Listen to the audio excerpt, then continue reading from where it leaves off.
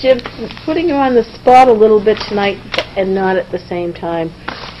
With our selectmen reps and school reps and uh, precinct uh, reps, we don't do a a huge report. A lot of times, it has to do more with passing questions back through you.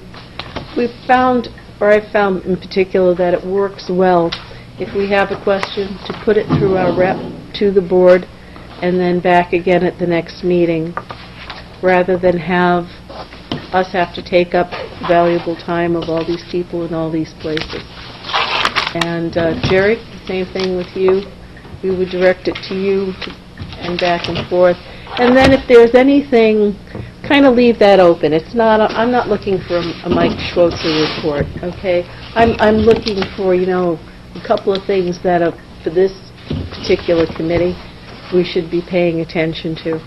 I spoke to Mike um, every day probably for the last half dozen, and I don't think we're anywhere with changing the default budget yet. But that would be a topic of conversation between now and our next meeting. Yes, you, that's a question you have? It, it's, it's an open question Yeah. because I know it doesn't have a resolution right now. Yeah. So hopefully you'll get back to me on when that's resolved and I will do that. I will bring it up. if it's resolved by the next meeting, then perhaps we can have copies and go over it. And if it's not, then that would be something we may look at in June. But I wouldn't think it'd be any later than that. But if I could ask you to do that. Yep, we'll do it.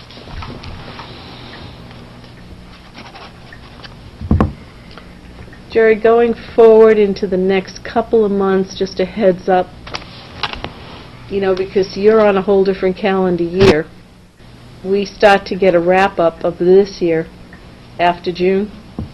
Yeah, our June, Mm-hmm. our calendar ends in June, June 30th. Right, I'm probably a little ahead of myself, but we won't be in session for July and August. Yeah. However, as soon as the end of the year is wrapped up with you, if you can have that sent to us, Uh, The summary or? or the- let us know or- and and members can pick it up. or for the full- summary. the- The end of year budget? Right. Sure. All of this is an attempt, gentlemen, so that when we start in fall, we have some idea on where we are and where we're going. All right, and precincts, Bob, if you could, um, you or Brian would do it last year, keep us up to date every month with the financials. Steve could What? even do it. Oh, no, I, Well, he's not the, Steve he's sends them not to the me. rep. Steve sends them to me, he's been pretty good No, with I it. sent them to... Why would we change something that's working?